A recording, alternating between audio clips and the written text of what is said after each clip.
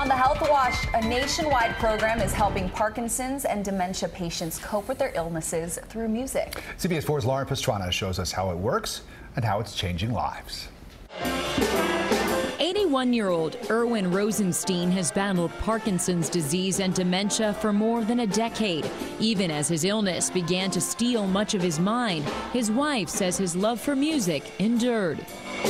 He was sitting playing the piano in our home. Like a dried flower getting a drink of water, he will resurrect. That gave Carol an idea to start a band for Irwin and others like him. She created a program called Music Mends Minds, bringing together former musicians who suffer from neurological disorders like dementia and Parkinson's. Most of these people couldn't tell you their name or their address and you put them together in a musical environment and they come alive. Dr. Jeff Bronstein says the music helps revive old memories. Uh, there's a real link between pleasure centers and music and memory. So I think this is really tapping into a lot of things that they've learned earlier in their life.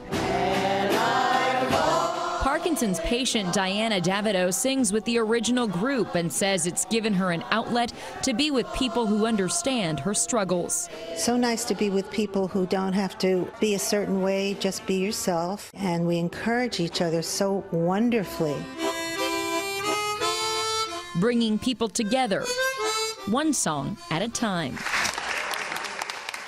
Music Mends Minds is now helping form bands in cities across the country and the world, including Canada and the Philippines. In the newsroom, Lauren Pastrana, CBS 4 News.